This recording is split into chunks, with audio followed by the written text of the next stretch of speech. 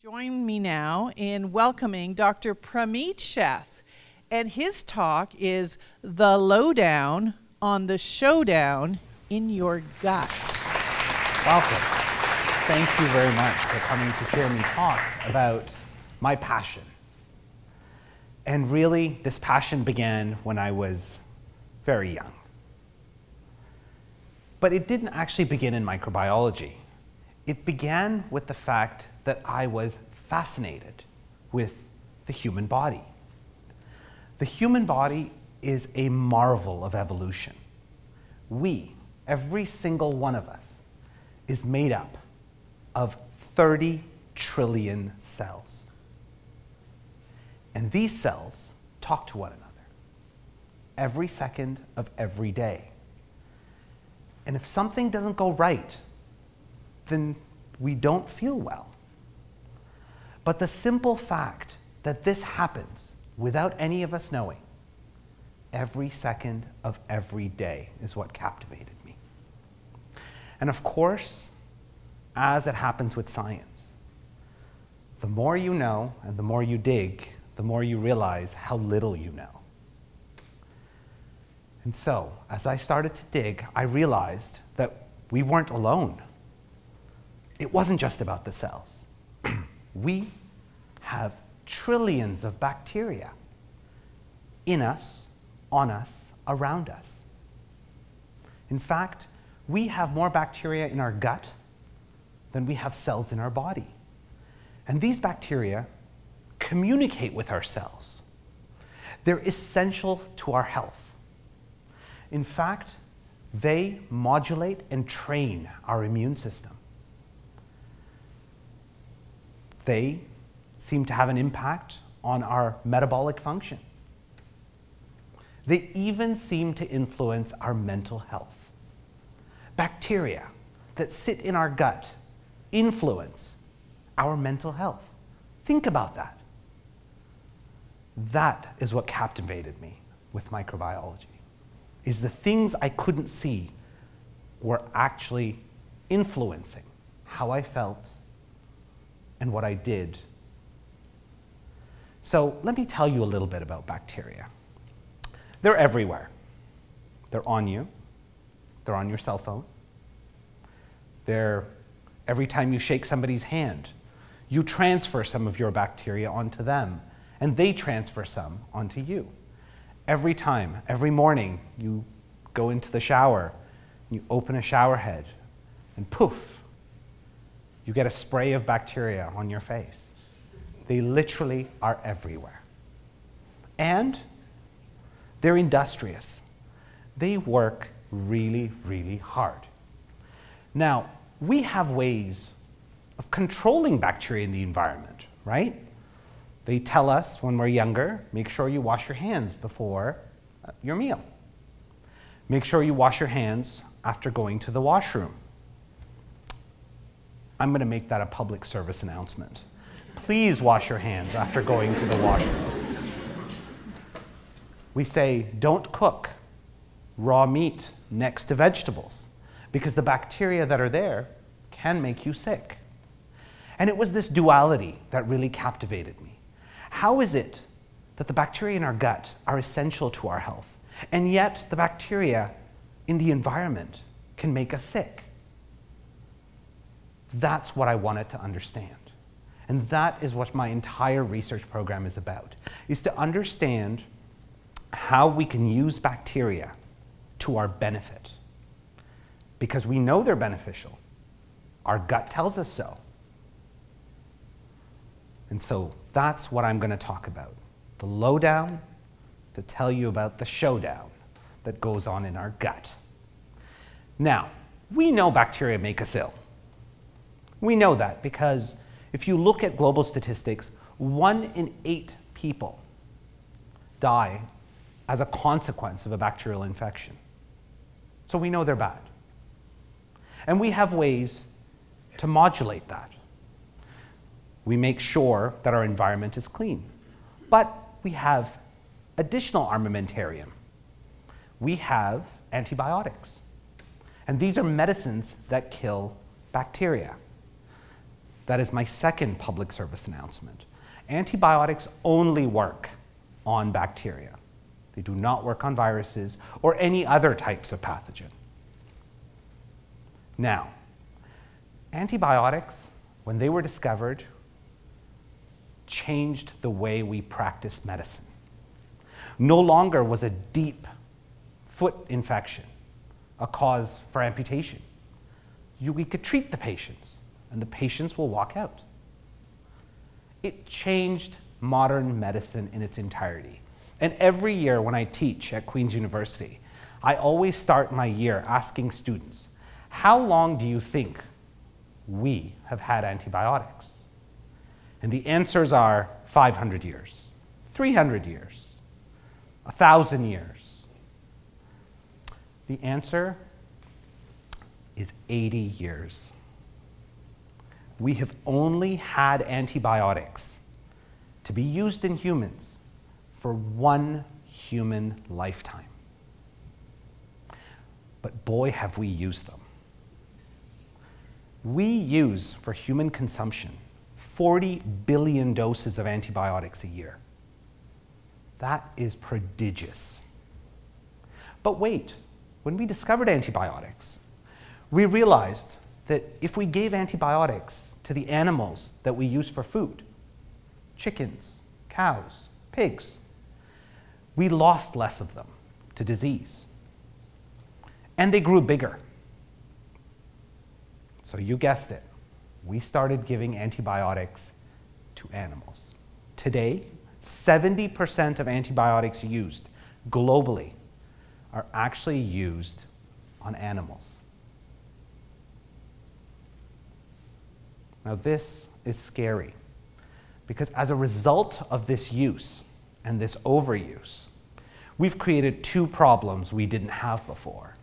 One, the bacteria that make us sick, well, they're becoming resistant to antibiotics, so they no longer respond.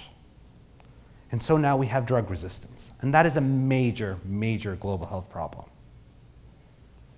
But we also created a second thing. Remember the 100 trillion bacteria I told you about that live in our gut?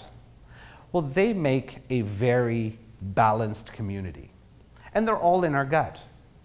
There isn't a lot of space. But what we did as a result of antibiotic use was we made it so that other diseases can develop that we didn't have a problem with. So my lab works on a disease called Clostridioides difficile. This bacterium causes gastroenteritis as its base. So I'm sorry, I know you've all had some refreshments, so I just want to caution you. Um, it's going to get a little bit uncomfortable. Um, so, so the cardinal sign for C. diff is diarrhea. But it's not like any other diarrhea. It's profuse diarrhea, sometimes bloody diarrhea. And it leads to inflammation. And the reason we get C. diff is because when we take antibiotics, we destroy the balance in the gut and we create space for C. diff to enter and to germinate. We give it space to grow. And when it grows, it produces toxins. And these toxins kill our cells. And that's how the disease starts. So, the number one risk factor for developing C. diff disease is antibiotic use. Our medical marvel is now against us. C. diff causes half a million infections a year in North America alone. Numbers outside of North America are less clear. This is huge. It leads to what we've counted about 25 to 30,000 deaths a year. This is huge. Let me tell you a little story. Uh, I remember walking into work on a Monday and I had an email from a friend. Let's call her Jan. So Jan had sent me an email saying she had a baby. I was incredibly overjoyed, but also surprised because I hadn't heard from her in months. She'd had a baby. And then she said, but as a result of antibiotics she'd received as part of her prenatal care, she had developed C. diff. And she'd received antibiotics to treat her C. diff. But it didn't work. And in one in four people, when they get treated for C. diff, it actually doesn't work. So she had a relapse. And she got treated again. She had another relapse. She hadn't held her newborn in almost six months. She was frustrated as a mom. She was tired. She talked about having 15 to 20 bowel movements a day. She talked about being terrified to leave her house.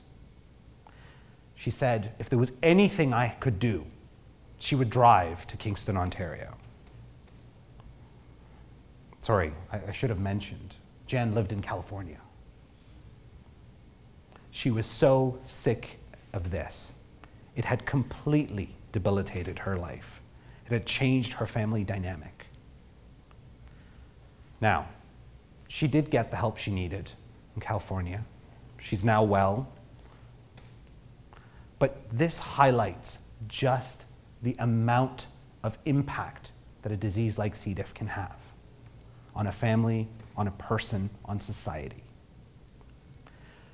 Now, I told you about the antibiotics. And C. diff can be treated with antibiotics, except, let me reiterate, one in four people fail.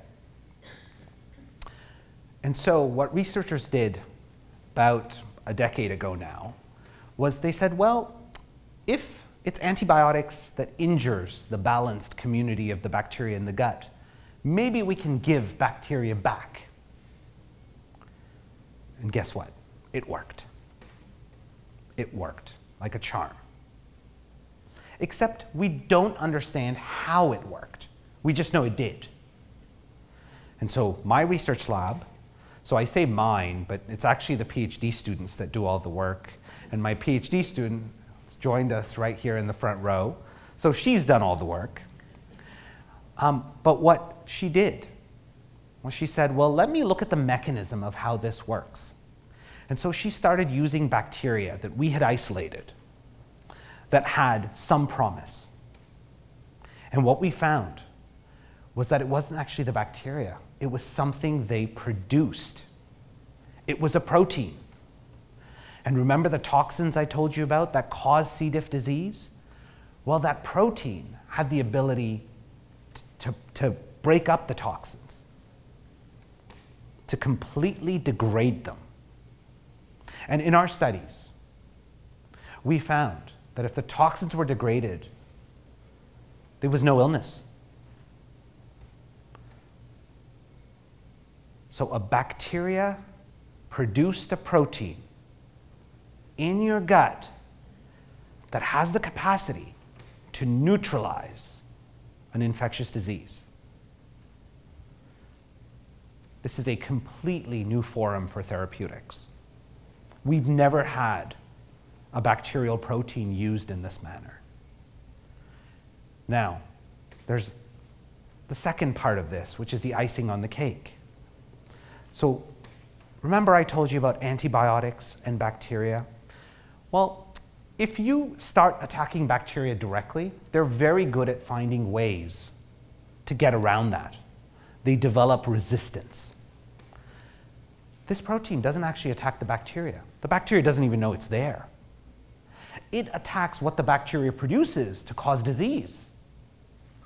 That's different.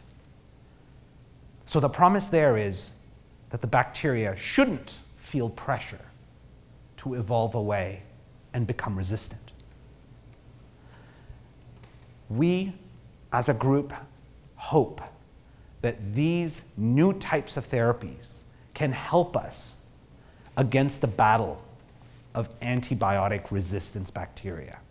We need to find novel ways to try and combat what the WHO is calling the largest emergency to modern medicine. So, our group works on developing novel new therapeutics for infectious diseases using the bacteria that are in our gut. And we hope over the next few years we can tackle not just C. diff, but additional infectious diseases.